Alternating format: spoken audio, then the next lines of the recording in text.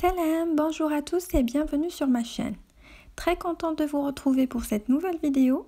Aujourd'hui, je vous propose de réaliser une vidéo très intéressante. Je vous propose une recette de chocolat plastique qui est utilisée pour modeler différentes figures qui sont utilisées pour la décoration de vos, gâteaux, cupcakes, biscuits. Donc c'est des euh, décorations, on peut les acheter mais ça reste un peu cher. De plus, lorsqu'on les fait nous-mêmes, on sait au moins ce qu'il y a à l'intérieur. Donc dans un premier temps, on va commencer euh, à préparer notre chocolat plastique. Ensuite, on va passer euh, aux colorations et puis après, on va modeler les, les différentes figures ensemble. Donc sans trop tarder, je vous laisse découvrir la suite.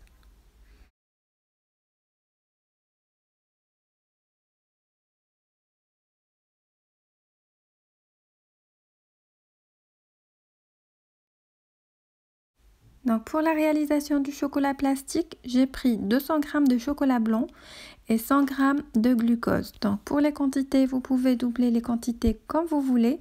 Il faut juste noter que la quantité du chocolat blanc est deux fois la quantité du glucose.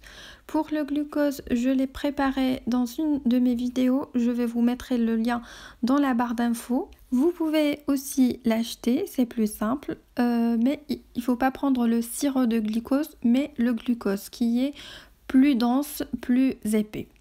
On passe maintenant à la préparation. Donc sur un bain-marie, je mets mon chocolat blanc, je rajoute le glucose. Donc pour le glucose, vous pouvez le faire réchauffer un peu au micro-ondes, comme ça ça va être facile de, de le manipuler puisqu'il est trop collant. Ensuite, je laisse fondre le tout dans un bain-marie pendant quelques secondes. Une fois le chocolat fondu, je viens mélanger le tout avec une spatule pour bien amalgamer les deux ingrédients, glucose et chocolat blanc. Et on remarque qu'une pâte va se former comme vous le voyez. Je continue de mélanger. Ensuite, j'enlève ma préparation du bain-marie et je continue de bien amalgamer les deux ingrédients comme ceci. Donc vous allez obtenir une pâte comme celle-ci. Voilà. Et vous allez remarquer qu'il euh, y a une sorte d'huile qui sort de cette pâte-là. On va l'extraire. Donc on va l'enlever euh, de, de notre récipient.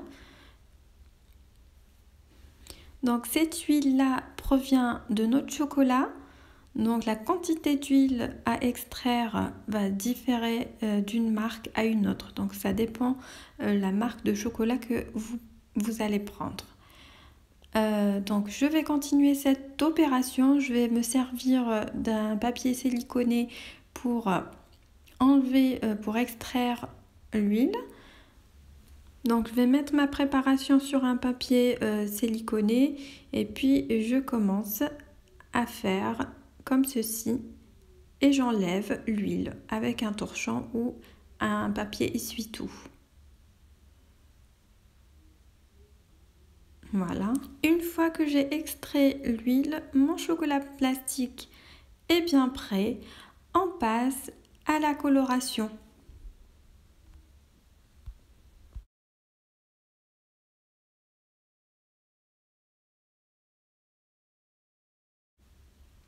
Donc pour la coloration, j'ai pris, euh, je voulais tester plusieurs couleurs pour voir euh, ce que ça va donner. Donc je vais partager mon chocolat plastique euh, en parties, en plusieurs parties. Et puis je vais procéder à la coloration de chaque partie.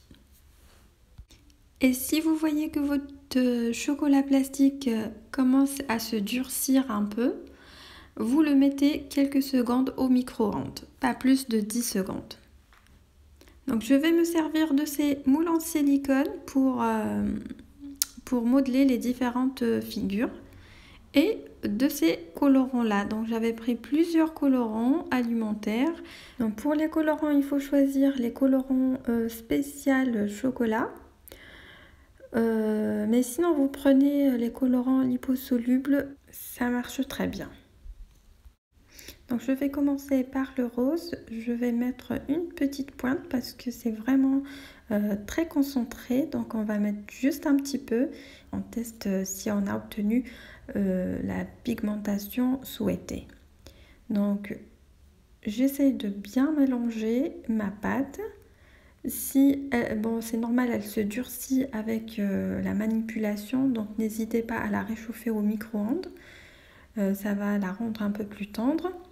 Voilà, voilà la couleur que j'ai obtenue avec juste une toute petite pointe. Donc euh, il ne faut pas trop euh, mettre euh, pour les colorants.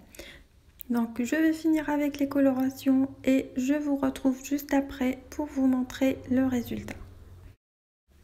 Donc voilà, j'ai fini de colorier ma pâte à chocolat, donc plutôt satisfaite des couleurs obtenues.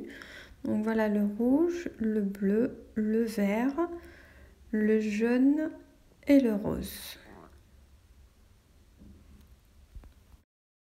Là, je vais commencer à modeler les différentes formes. Donc, je vais prendre, euh, je vais former des petites boules entre les mains et je vais essayer de, les faire entrer dans mon moule à silicone et d'enlever l'excédent euh, de pâte.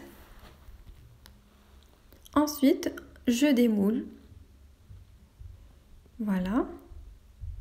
Donc c'est vraiment très joli et on a vraiment l'impression que c'est du plastique et c'est pas du chocolat. Donc je vais finir avec euh, le reste.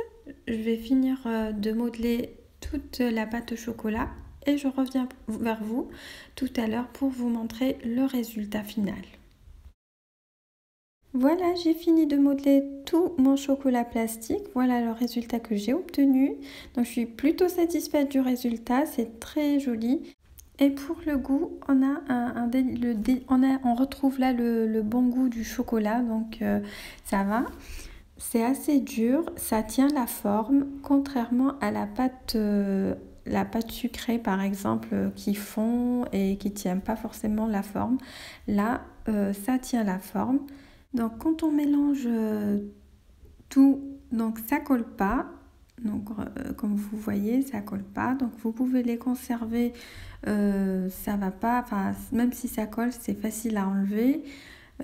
donc pour moi, j'ai mis le tout dans un bocal et j'ai conservé au frigo. Il faut le conserver au frais, sinon ça peut se déformer avec la chaleur pour une utilisation ultérieure. Et voilà, on est arrivé à la fin de cette vidéo que j'espère vous a plu. Donc n'oubliez pas de liker la vidéo, de la partager avec vos amis, vos proches, votre famille. De vous abonner à la chaîne si ce n'est pas encore fait et d'activer la cloche pour recevoir toutes les notifications lorsque je poste une nouvelle vidéo. Et je vous dis à bientôt pour une nouvelle recette. Salam